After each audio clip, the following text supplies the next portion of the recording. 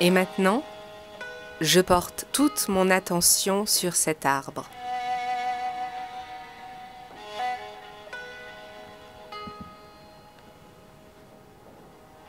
Je prends le temps de visualiser son tronc.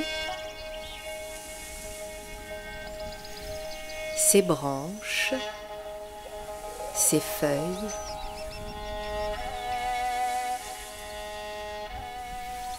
Pour moi, ça fait vraiment partie d'un chemin euh, personnel, spirituel.